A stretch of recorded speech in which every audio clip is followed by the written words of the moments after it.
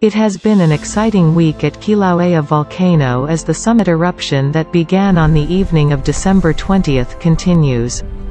The eruption remains confined within Halemaumau crater.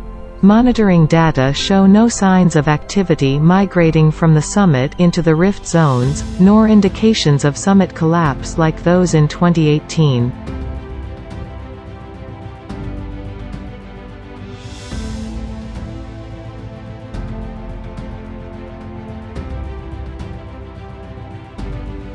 The primary hazard from this eruption at this time is VOG volcanic air pollution, produced by the gases emitted at the summit. USGS Hawaiian Volcano Observatory scientists continue to closely monitor the eruption.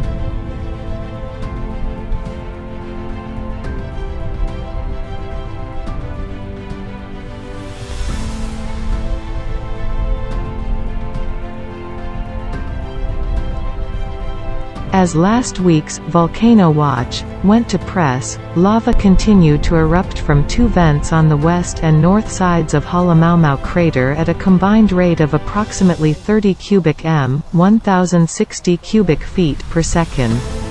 The rise of the lava lake was slowing due to the funnel-like shape of Halemaumau.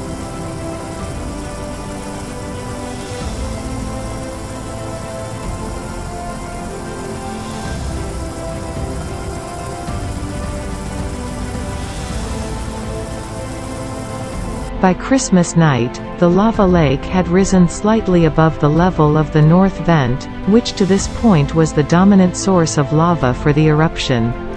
Lava fountaining from the north vent, which built an amphitheater-shaped cone surrounding it, drove circulation in the lava lake apparent in the motion of the crust.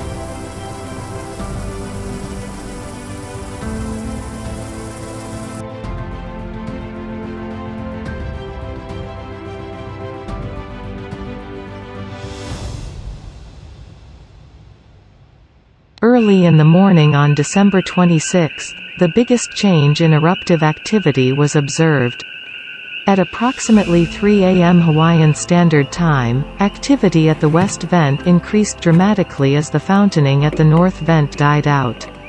HVO scientists observing the lake witnessed lava draining back into the north vent and the lake level dropped 5 meters 26 feet over the next few hours. This left a bathtub ring around the edge of the lake, marking the lake's high point. The change in active vent also saw a decrease in sulfur dioxide SO2 gas output, down from 16,000 to 20,000 tons per day on December 25 to 3,800 tons per day on December 30.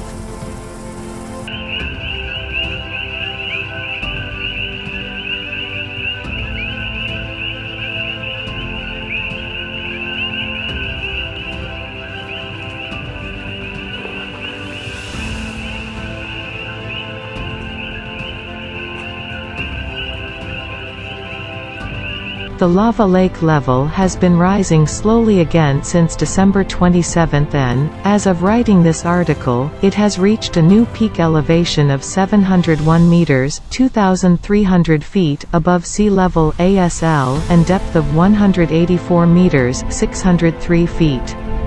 The erupted volume to this point is more than 20 million cubic meters 700 million cubic feet or about 8,000 Olympic-sized swimming pools. The eruption rate has decreased to approximately 10 cubic m 353 cubic feet per second.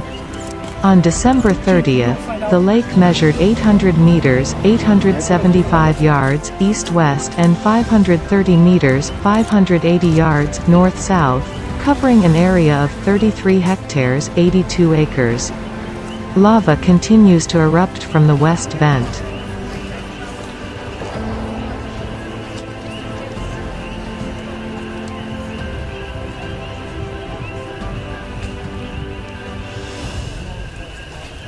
But it is going to end.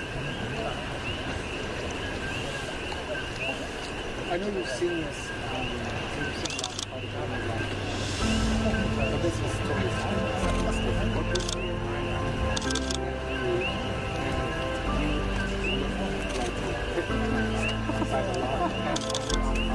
sorry guys. Back